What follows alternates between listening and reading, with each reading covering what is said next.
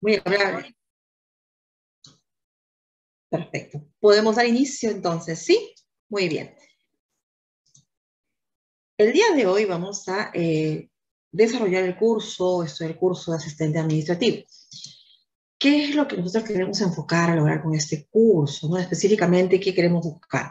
Bien, aquí eh, al llevar este curso vas a poder conocer la estructura, el funcionamiento básico de una organización y aplicar las herramientas eh, para poder optimizar tus tareas o tareas diarias. ¿no? El objetivo es lograr que todos los participantes que puedan obviamente llevar este curso cuenten con instrumentos teóricos y prácticos que estén relacionados a la gestión documentaria, teniendo como base la normatividad archivística de nuestro país, que le permite obviamente desarrollar los procesos técnicos de archivo, que utilicen su servicio, en este caso de los archivos hacia los usuarios y con este curso vas a poder desenvolverte rápidamente en el mercado laboral al conocer la estructura, el funcionamiento de una empresa y aplicar las herramientas necesarias para poder optimizar las tareas diarias o labores diarias que uno desarrolla.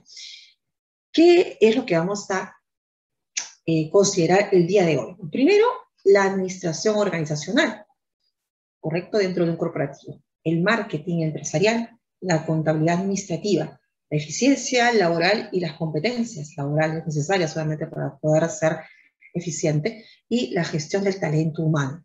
Existen un sinfín de, de ítems que se desarrollan dentro de lo que ya se requiere a una persona que trabaja en esta área, pero estos son los más elementales que se están desarrollando actualmente en las entidades corporativas. La administración organizacional, ¿qué entendemos por ella? Bueno, la administración organizacional es una disciplina de la gestión y administración de empresas. En otros aspectos, administración organizacional, ¿de qué se va a encargar? De ver los recursos humanos. Gestión es prácticamente tener todo un proceso de planificación, una sistematización. Gestión de inventarios, gestión de procesos, la administración financiera, la matemática financiera y los métodos cuantitativos. La función de una organización. El funcionamiento del sistema de una organización varía de acuerdo con el desarrollo de organización, dentro de la que se ubica eh, con técnicas a las cuales puedes recurrir para el desarrollo de las funciones, ¿no? de análisis, diagnóstico administrativo, hablamos de un FODA, diseño organizacional. Las funciones consisten en una orientación general en el conjunto de la administración. Cada departamento de una organización o de un corporativo tiene un área, la cual tiene un manual de funciones de organizaciones y cada uno de los que trabajan dentro de la misma también. Así se les asigna un manual para que puedan desarrollar sus funciones. ¿Cómo es la estructura o a qué se refiere la estructura organizacional?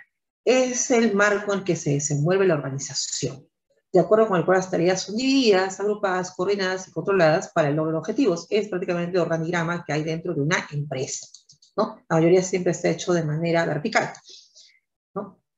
La jerarquía, obviamente, superior hacia arriba y abajo, obviamente, la inferior. Las políticas de una organización, eh, guías para orientar la acción, lineamientos generales a observar en la toma de decisiones sobre algún problema o situación de emergencia que pueda mm, por ahí, en este caso, suceder dentro del corporativo, que se repita una y otra vez dentro de una organización. Si esas acciones son consecutivas, generalmente, que puedan llevar a, generar pérdidas, lo que se refiere siempre tener un plan de riesgos, ¿no? Y para ello, toda empresa siempre, tiene, antes de iniciar su año, eh, casi los últimos tres meses del año, elabora lo que es el plan estratégico para el año siguiente. Son criterios generales de la ejecución que auxilian el logro de objetivos. La importancia de las políticas. ¿Por qué es importante trazar políticas en una empresa?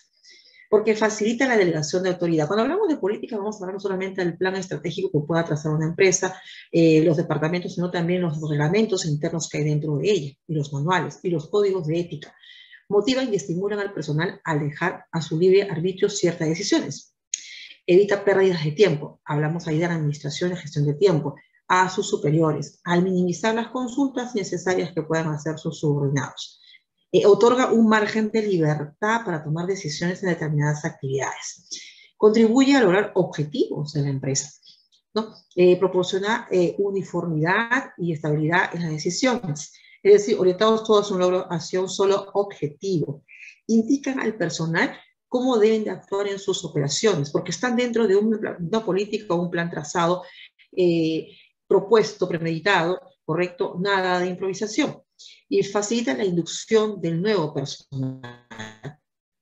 Obviamente, en función de lo que usted ha desarrollado, siempre el nuevo personal tiene que tener un programa de bienvenida y de inducción que le permita conocer no solamente la mística identidad de la empresa, sino también que le permita conocer las funciones de la misma. ¿Correcto?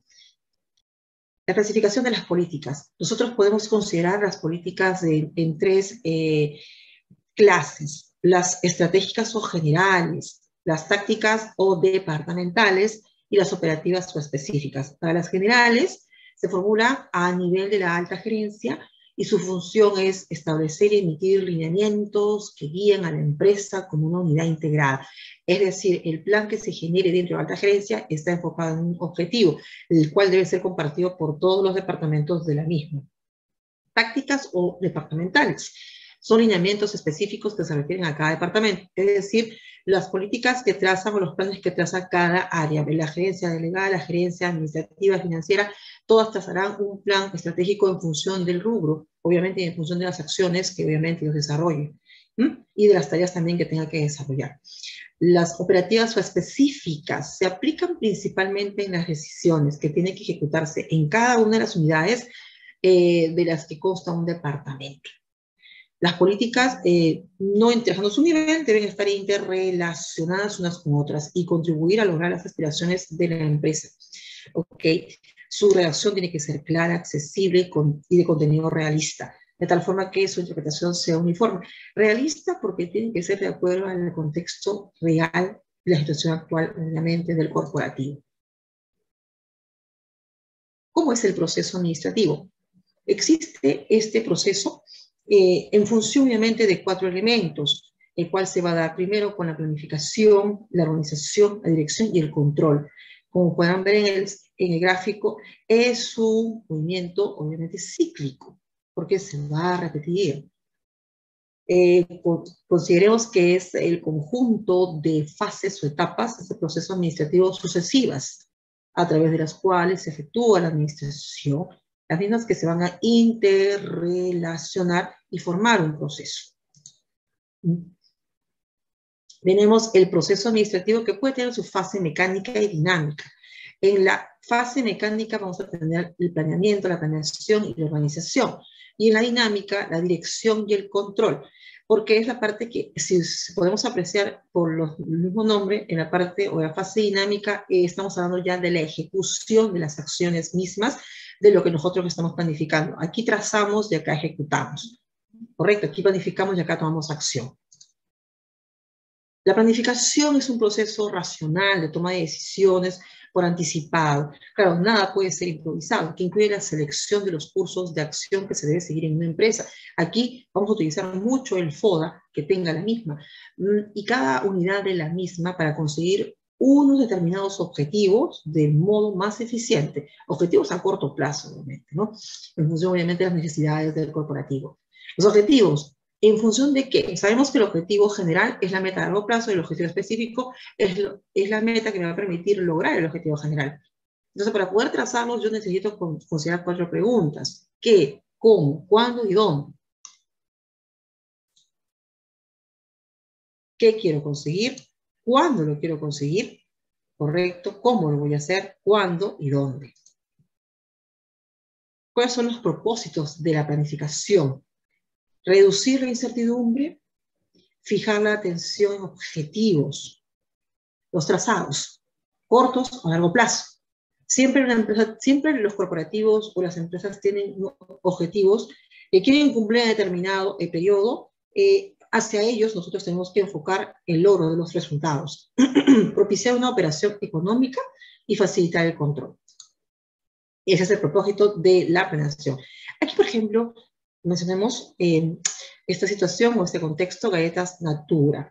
Esta empresa está enfocada en realizar galletas para personas diabéticas que requerirán un nivel bajo de azúcar, de absorción rápida y de bajos contenidos de colesterol se arrendará un, un, predio de 250 metros cuadrados que se encuentra ubicado en la carretera, obviamente. Aquí, por ejemplo, es un ejemplo, ¿no? México-Pachuca, kilómetro 846.5, y se van a adquirir hornos y mezcladoras necesarias para la realización de dichas galletas. Serán contratados ocho eh, nutriólogos o nutricionistas especializados quienes van a tomar la misión de diseñar las galletas, ¿no? Y ocho maestros panaderos quienes ayudarán y van a guiar a los empleados para que elaboren esas galletas en la planta correspondiente serán rectificados los contenidos caloríficos y la glucosa de las galletas, porque acuérdense que son para, diabéticos, que para conseguir los permisos correspondientes se realizarán las gestiones con las empresas distribuidoras y las cadenas comerciales para que la distribución alcance toda la zona contutal, no correspondiente. Los contadores asignados llevarán la contabilidad correspondiente para distribuir el capital de los inversores y así poder obtener un margen de ganancia suficiente en un lapso mayor a seis meses. Estamos dando que este proceso tiene, tiene una durabilidad de seis meses. Sobre ellos trazo mis objetivos, que yo estoy planificando. La organización comprende el establecer una estructura intencional, formalizada, permanente y roles para las personas que integran la empresa. Las funciones de la organización son diseñar una estructura de funciones o puestos que facilite la utilización efectiva de los recursos, asignar a cada área de la empresa o gerencia, departamento de la empresa, funciones, tareas que le pertenecen para alcanzar objetivos establecidos. Asimismo, vamos a considerar elementos y factores claves en la organización. Tenemos los factores y los elementos. ¿Cuáles son los elementos claves dentro de una empresa? el personal, capital humano, el trabajo y el lugar de trabajo donde desarrollan, obviamente, el trabajo, en este caso, el personal. El trabajo en sí es lo que voy a las acciones, el servicio que se tiene que desarrollar. El personal es quien va a desarrollar ese trabajo y el lugar de trabajo es el espacio en donde van a desarrollar el trabajo. Los factores tenemos autoridad y responsabilidad. Aquí vamos a considerar a los supervisores jefes y la responsabilidad estará marcada específicamente por las funciones determinadas, obviamente, en las políticas y manuales. Aquí tenemos nuevamente el ejemplo de galletas Galle Natura. Organización. Se forma una comisión encargada de adquirir, ya sea comprando o arrendando las maquinarias y comprar la materia prima. Será asignada la fabricación de las galletas al personal calificado y adecuado. Y se contratará un equipo que rectificará la distribución del producto. Nos estamos organizando integración. Aquí buscamos obtener y articular elementos materiales y humanos. Capital, obviamente, humano, más, en este caso, infraestructura, o puede ser capital también eh, divisas, dinero, que la organización y la planeación señalan como indispensables para el adecuado funcionamiento de una empresa, de un organismo o empresa. Un proceso de integración. Para ello tenemos primero que detectar las necesidades organizacionales a través de nuestro FODA, ¿no? que es en este caso determinar las fortalezas, tus debilidades, oportunidades y amenazas. Localización de fuentes y medios de obtención de recursos, adquisición de recursos proveedores, administración integral de recursos internos y externos, integrar recursos humanos. Estamos hablando aquí ya del personal, del capital humano. No solamente es una empresa que se va a abocar a ver proveedores, a ver los insumos, materia prima y al capital, obviamente, el dinero, sino también el capital humano, porque son ellos quienes van a desarrollar el trabajo, sea técnico, operario o especializado. La dirección es la función administrativa que trata de incluir en las personas de la organización, de influenciar en las mismas, para que de forma voluntaria y con interés contribuyan al logro de los objetivos de la empresa y de su unidad funcional. Siempre cuando una persona ingresa a un corporativo, eh, hacen un tema, un programa de inducción para que estos nuevos eh, recursos, estos nuevos elementos que forman parte del capital humano del corporativo, eh, comiencen a identificarse con la mística de la empresa, se identifiquen con los objetivos y trabajen en función de los mismos.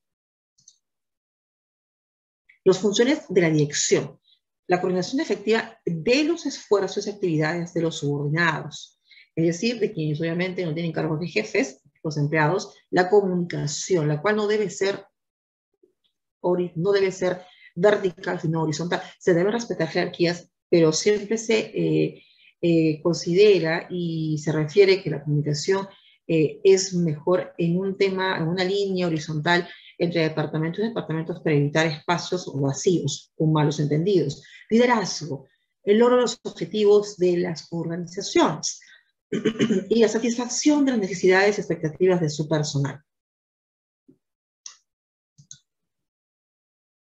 ¿Qué más podemos considerar dentro de lo que es la administración organizacional? El proceso de dirección, en donde se van a tomar las decisiones más acertadas para eh, el buen funcionamiento y el logro de objetivos, la motivación, no solamente a, través de incentivos, motivación de que la persona dentro de su puesto de trabajo se sienta eh, conforme.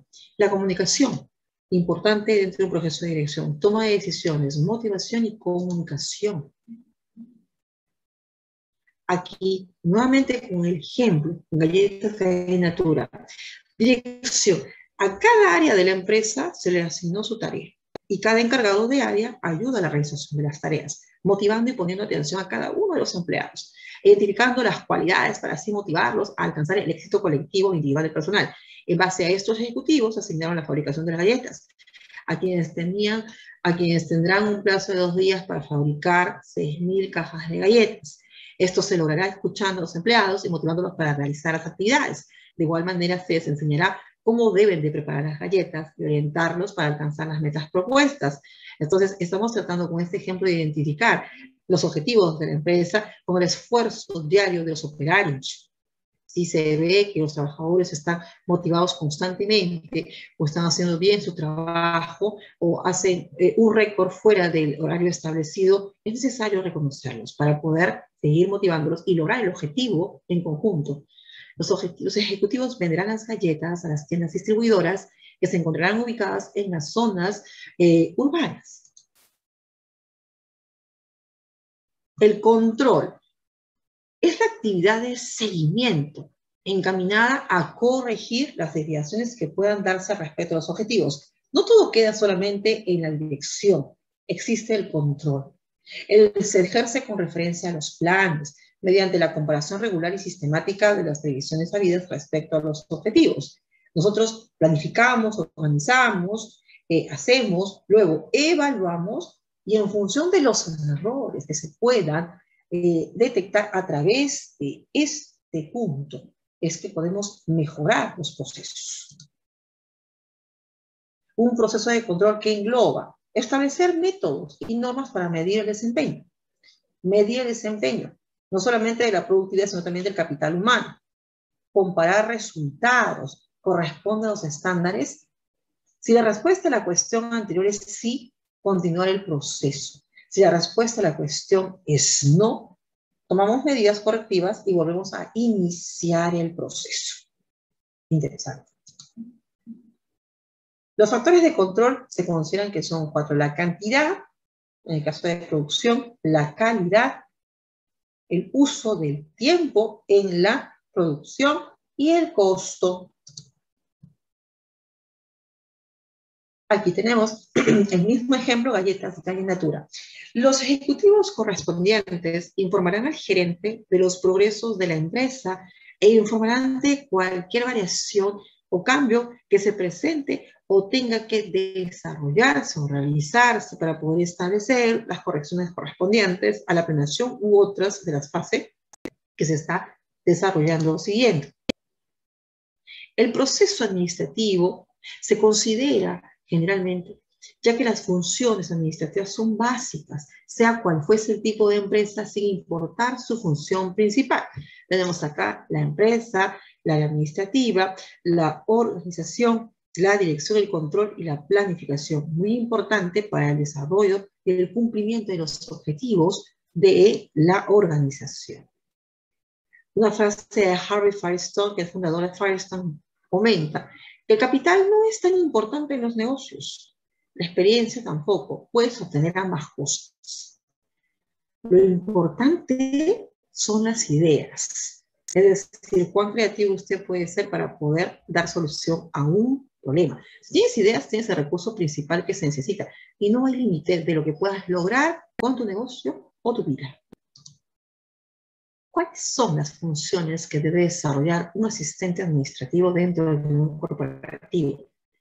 Específicamente, gestionar las llamadas, correos electrónicos, correspondencia, faxes, en este caso, tanto entrantes como salientes, ahora todos por email, además de encargarse de la agenda general. Interactuar con clientes y atender consultas. Archivar, organizar, guardar y revisar todo tipo de documentos. Actualmente los archivos son en la nube y son obviamente digitales. Desarrollar o realizar fotocopias escaneadas. Solicitar suministros y acordar el mantenimiento o reparación de los equipos de oficina. Organizar reuniones y encargarse obviamente de la logística procesar y registrar información mediante la actualización de la base de datos o archivos informáticos y mantener su área de trabajo limpia y ordenada. Pero va más allá las funciones del asistente administrativo hoy en día porque permite o exige la participación en gestión administrativa y administración organizacional. El segundo punto que vamos a desarrollar es el marketing empresarial un elemento que también debe de conocer aquella persona que está trabajando dentro de un área administrativa, porque el asistente administrativo no es el asistente de una persona, sino es de todas las áreas de un corporativo. ¿Qué entendemos con marketing empresarial?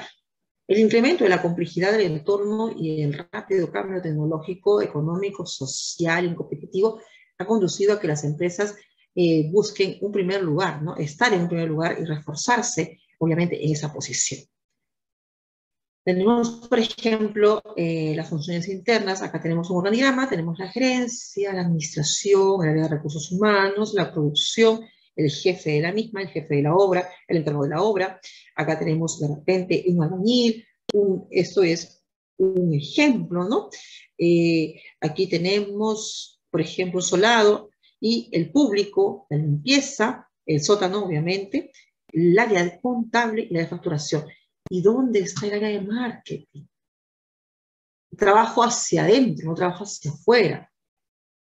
¿Cómo quiero perdurar y cómo quiero que me conozcan si no estoy desarrollando esta herramienta comercial? La diferencia, en esta evolución vamos a diferenciar tres fases, el marketing pasivo, de organización y activo. El pasivo, eh, aquí las organizaciones eh, sobreviven en un entorno caracterizado por la escasez de oferta. ¿no? La capacidad de producción disponible es insuficiente para necesidades del mercado y por tanto la demanda es superior a la oferta. Es decir, hay más personas que quieren obviamente el producto o servicio que lo que podemos ofrecer. El marketing pasivo se enfoca en la producción, se centra en la fabricación del producto y en la perspectiva técnica de gestión.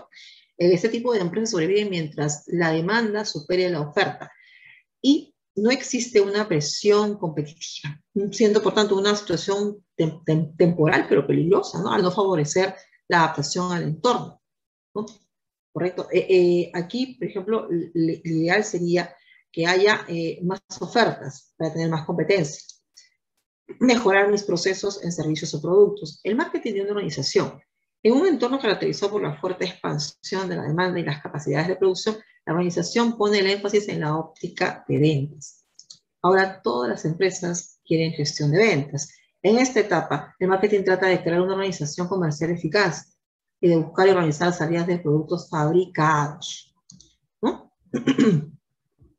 El marketing activo, aquí el papel, eh, se refuerza el papel del marketing estratégico en la empresa. se caracteriza por la orientación de la empresa hacia el marketing, siendo la satisfacción de las necesidades de los consumidores el objetivo prioritario de las organizaciones.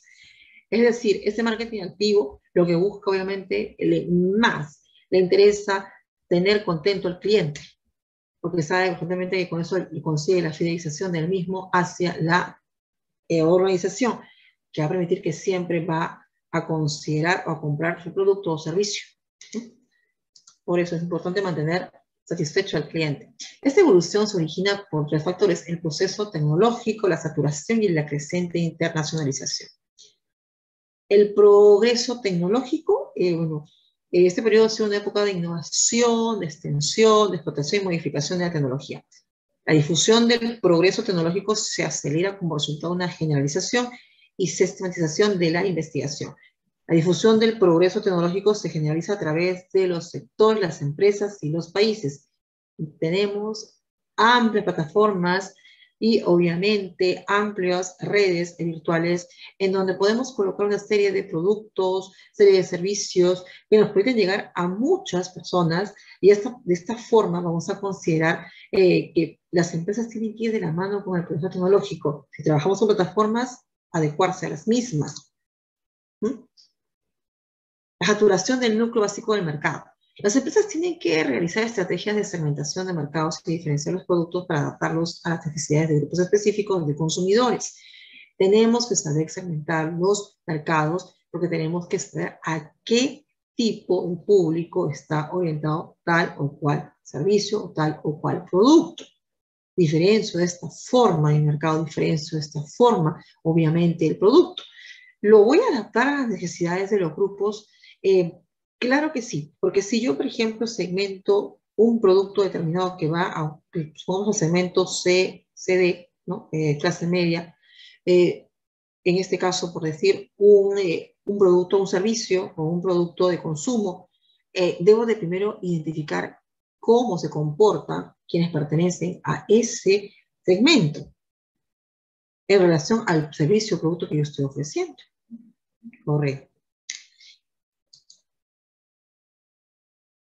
La internacionalización de los mercados. La disminución de las barreras aduaneras, técnicas y culturas están ocasionando un rápido incremento del comercio mundial y la liberación de los intercambios incrementa la competencia global a la que se enfrentan las empresas.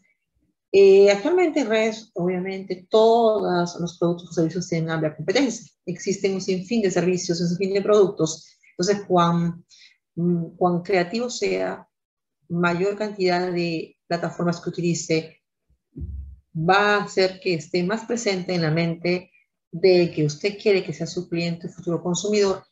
El tema siempre es estar presente en la mente, ¿no? Que veamos el posicionamiento, la fijación del servicio, del producto, lo que quiero vender, para que de esta forma pueda eh, tener presencia la marca o el nombre de lo que yo estoy ofreciendo.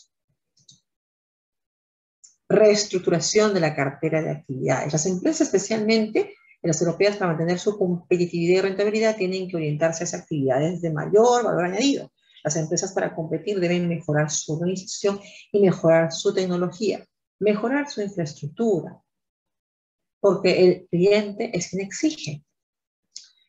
El marketing a medida. En sociedades avanzadas, los consumidores demandan soluciones personalizadas, adaptadas a sus necesidades y problemas específicos. Obviamente, siempre toda queja que viene de parte de un cliente, un consumidor, se debe tomar como una propuesta y a futuro elaborarlo con un nuevo producto o servicio, ¿no? que es lo que espera siempre un cliente o consumidor. Que sus sugerencias o sus quejas o sugerencias se vuelvan en adelante la toma de decisión más acertada que pueda tener una empresa para dar soluciones a sus requerimientos orientación a la competencia. En los mercados maduros estancados, la competencia se, se intensifica y se hace más necesaria el seguimiento y análisis de la competencia. generalmente la competencia siempre eh, se refiere en este caso a una empresa que ofrece el mismo producto, que obviamente lo ofrece al mismo precio, en los mismos estándares, utilizando las mismas herramientas, pero siempre hay una diferencia. Entonces, si sabemos cuál es nuestra competencia, tenemos que estar averiguando qué es lo que hace constantemente y no copiar lo que sino mejorar lo que ofrece. El desarrollo de sistemas de previsión en un entorno cambiante y turbulento, la empresa debe reforzar su capacidad de adaptación. ¿Mm? Marketing global. La internacionalización de la economía y el incremento de la competencia internacional generan oportunidades y amenazas. Pero como tengo un plan estratégico elaborado, puedo identificarlas. Marketing responsable. Las empresas adquieren una responsabilidad por las consecuencias de sus acciones en el entorno y en los diversos grupos poblacionales afectados. Marketing, en este caso orientación al mercado. Toda empresa tiene que ser consciente de la importancia del consumidor en existencia, rentabilidad y crecimiento de la empresa. Y es que una empresa sin clientes y consumidores no existe. Es importante por eso gestionar el marketing dentro de la misma. Muy bien. Hablamos ahora de la contabilidad administrativa. Otra de las funciones que también debe tener conocimiento aquella persona que trabaja en el área administrativa o como asistente administrativo. El papel de la contabilidad administrativa en las organizaciones, un entorno actual de los negocios, la competitividad tan fuerte que se vive aunada al proceso de la globalización ha provocado cambios en los estilos de administración de las empresas para poder sobrevivir a largo plazo. ¿Qué es lo que buscamos? Un factor de cambio, control de calidad, orientarse a los clientes con este control de calidad y en un tiempo determinado. Las últimas décadas se han caracterizado por una fuerte disposición a escuchar al cliente, de tal manera que se le ofrece productos y servicios que lo van a satisfacer plenamente. Esta circunstancia obliga a las empresas a tener un sistema de información de la cadena de valor, la cual consiste en el conjunto de actividades que se requieren para diseñar, producir, vender y entregar productos o servicios a los clientes. Herramientas para mejorar la competitividad, el crecimiento del sector de servicios, la reducción del ciclo de vida de los productos, el downsing y outsourcing, y las nuevas formas de comercialización. El crecimiento del sector de servicios, eh, el sector primario representa la actividad, por ejemplo, agropecuaria, el sector secundario se refiere a la actividad de manufactura, el sector tercero se refiere de comercio y servicios. Cuando hablamos de reducir el ciclo de vida de los productos a través del cambio tecnológico, que se aúna a un cambiante mercado en cuanto a bienes y servicios que se desean, ¿no? y traen como consecuencia que el ciclo de vida de los productos se vaya cortando cada día más. Cuando hablamos del downsizing, outsourcing, hablamos de la reducción de costos, la optimización de la operación de las empresas. Aquí entra mucho lo que tiene que ver el tema del reciclaje, permitir atacar con oportunidades nuevos mercados, evitar la dispersión de recursos, permitir explotar las potencialidades del negocio y nuevas formas de comercialización. Actualmente la que se trabaja por redes el comercio electrónico, tiendas virtuales, estructuras tradicionales de comercialización cambian, puestos que afectan de aspectos como almacenaje, cadena de distribución y labor de cobranza, por mencionar algunos, cambian. Continuamos. Para lograr una estrategia competitiva existen dos variables fundamentales. La 1 y la 2. La primera, factores que afectan la utilidad y los factores estratégicos para posicionar y hacer competitiva la empresa. Para la primera, ver nuevos competidores, la amenaza de los productos sustitutos, poder negociación de los compradores, poder negociación de los proveedores y la rivalidad entre competidores existentes. Para la variable 2, el liderazgo, la diferenciación del servicio que se ofrece, el producto que se ofrece y el enfoque. Hablemos de la comparación entre la contabilidad administrativa y la contabilidad financiera. ¿Cuál es la diferencia entre las dos? La contabilidad financiera verifica la solvencia y liquidez de la empresa así como la capacidad que posee para obtener la obtención de recursos. La contabilidad administrativa provee información para el costeo de servicios, productos y otros aspectos. O sea, escucho, voy a hacer un trabajo de investigación. En la contabilidad financiera evaluamos el origen de los recursos financieros de la organización que han servido para eh, utilizarlos en diversas actividades y determinar cómo ha sido su rendimiento. En la contabilidad administrativa, aquí se alienta a los administradores para llevar a cabo la planificación o planeación a largo plazo de la organización. Facilitamos el proceso de toma de decisiones, llevamos un control administrativo. En la contabilidad financiera se evalúa cómo se han manejado los recursos del negocio y cómo ha sido la gestión de administración. En la administrativa vamos a medir el desempeño de los diferentes responsables de la empresa. Vamos a motivar a los administradores, a los administrativos para el logro de sus objetivos. O sea, hay un compromiso más con el capital humano y con las funciones administrativas en cuanto a la contabilidad administrativa. Eso es en cuanto a objetivos. ¿Cuáles son las similitudes y diferencias que puede haber? Para las similitudes, por ejemplo, las dos utilizan información contable, es decir, parten de la misma base de datos. Las dos utilizan información veraz. La contabilidad financiera como la contabilidad administrativa se apoyan en el mismo sistema contable de información. Ambas partes parten del mismo banco de datos y proveen información para la correcta toma de decisiones. La contabilidad en, eh, financiera administrativa se diferencia porque la contabilidad administrativa está basada en datos enfocados al futuro. Sin embargo, la contabilidad financiera genera información basada en el pasado o datos históricos. Los famosos auditorías. La contabilidad administrativa es opcional, la financiera es obligatoria. La administrativa no está regida en base a principios ya que es informal. La financiera sí es formal, legal. La administrativa es para usos internos, mientras que la financiera es para ambos, internos y externos. La administrativa no puede determinar con precisión la utilidad generada, proporcionando eh, aproximaciones, estimaciones, mientras que la financiera sí puede proporcionar con exactitud y precisión la utilidad generada.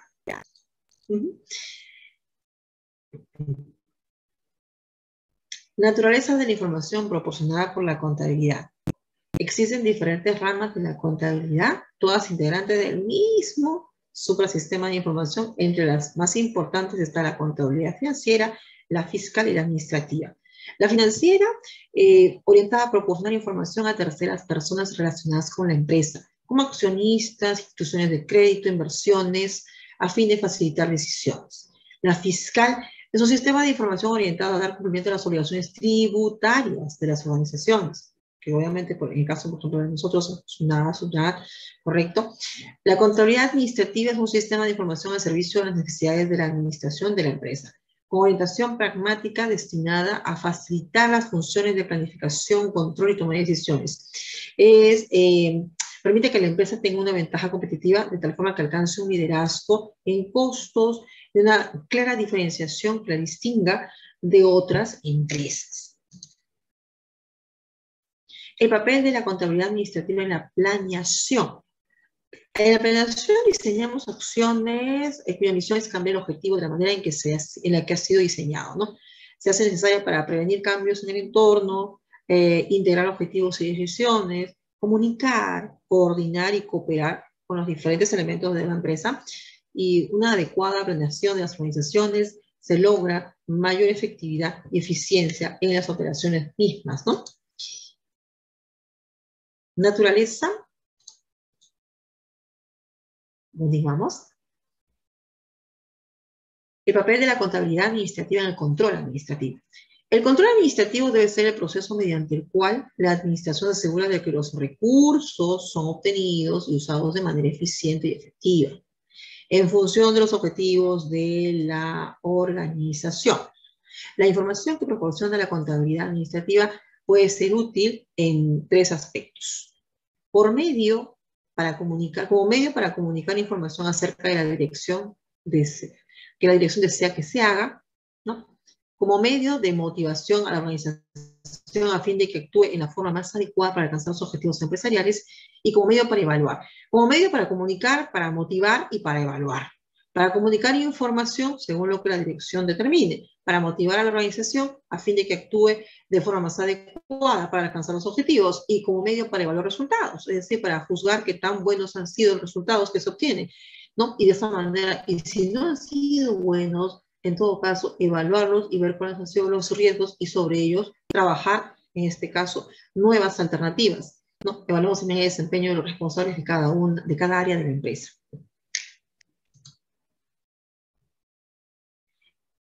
El papel de la contabilidad administrativa en la toma de decisiones. Vamos a considerar tres puntos. Análisis, decisión y puesta en práctica. En el análisis reconocemos que existe un problema. Luego tenemos que definir el problema y especificar los datos adicionales necesarios. Luego tenemos que obtener y analizar los datos. En la decisión, proponemos diferentes alternativas. Hay un brainstorming y una lluvia de ideas. Seleccionamos la mejor. No se puede descartar ninguna porque requerimos ideas y luego tenemos que pasar a la ejecución, la puesta en práctica. Ponemos en práctica la alternativa seleccionada y realizamos la vigilancia necesaria para controlar el plan elegido. La contabilidad administrativa y la estrategia de negocio. Trata aquí de la evaluación de las ventajas competitivas de la compañía y el valor agregado que ofrece a sus competidores. ¿no? Asimismo, determina los beneficios que los productos o servicios ofrecerán a los consumidores y el rendimiento que estas ventas generarán a la compañía en un periodo determinado, o a largo plazo probablemente. ¿Qué herramientas de la contabilidad administrativa son más afines, en este caso la contabilidad estratégica? El costeo de atributos, el benchmarking, la evaluación de la marca, el presupuesto de capital, la evaluación del costeo del competidor, monitoreo de posición competitiva, medición integral de desempeño, costeo del ciclo de vida, en este caso de producto o servicio, análisis de la rentabilidad de por vida del consumidor, costo de calidad, costeo estratégico, precios estratégicos que se colocan según, obviamente, el producto, según la competencia, o según el comportamiento del mercado, eh, costeo basado en metas estratégicas, el target costing, la evaluación de los clientes como activo, el costeo de la cadena de valor. Una de las tantas herramientas. La contabilidad administrativa y el comportamiento ético en las organizaciones. Tenemos un caso. El premio Nobel, por ejemplo, de Economía, Amartya Sen afirma que los valores éticos de los empresarios y los profesionales de un país son parte de su recurso productivo. Así es. Y si son a favor de la inversión, la honestidad, el progreso tecnológico, la inclusión social serán verdaderos activos. Si en cambio predomina la ganancia rápida y fácil, la corrupción y la falta de escrúpulos bloquearán el avance. El caso de Enron, por ejemplo, en esta empresa llegó a ubicarse como la séptima empresa más grande de Estados Unidos empleaba a más de 20.000 personas. En el año 2001 se declaró en bancarrota. ¿Por qué? Después de que las autoridades descubrieron que había falseado sus reportes financieros.